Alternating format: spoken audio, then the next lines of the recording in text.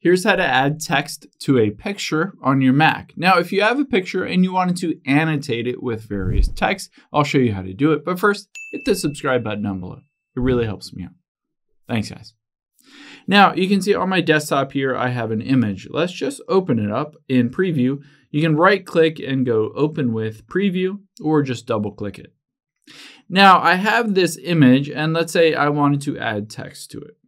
The easiest way to do it is go up to Tools at the top left. And then we're going to go down to Annotate here. And then we're going to go down to Text.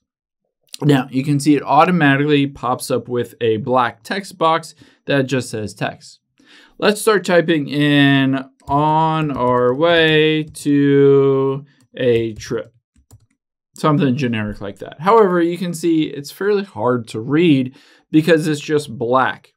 Now, what I can do is I can hit Command A to select all of it. And then at the very top here, let's tap on this little box. And I'm going to choose, let's say, red. It will put a red box around it. Or I can choose this one and I can choose white. And that will make it so that it has a white background. Of course, I can, let's expand this out a little bit. I can tap on the AA here and I can make it bigger just by increasing that point size. I can make it bold or italics. I can change the font color if I wanted the font color to be blue, for instance. Of course, I can change the exact font to whatever I want, and I can move it around however I want, wherever it wants to be in that image.